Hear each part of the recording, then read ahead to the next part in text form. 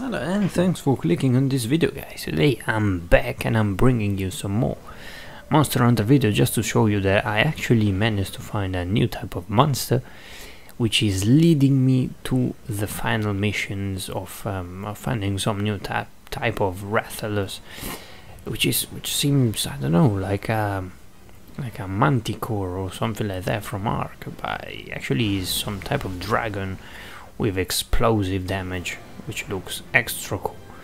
Now, that is not what actually destroyed this Barroth, but still, I was the one, of course. Anyway, today we're going to see together how to change the color of your equipment. This might seem like super, super, super, super um, obvious, but it actually is not. It took me some. It took me some time to actually find out.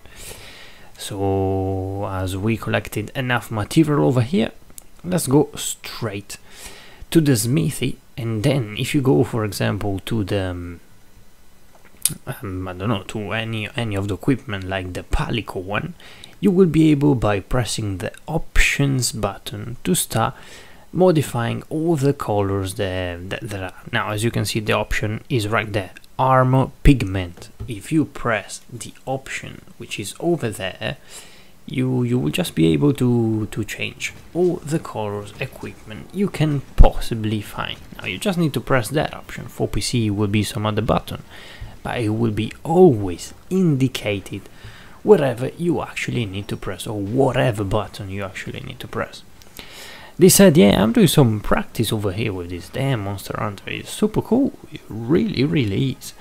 And uh, it also is damn enjoyable. It also is damn enjoyable, guys. Like, you cannot imagine how cool it is to play this game, especially after a little bit that I haven't been playing it. Because I've been hooked into Fortnite and I have been hooked into No Man's Sky.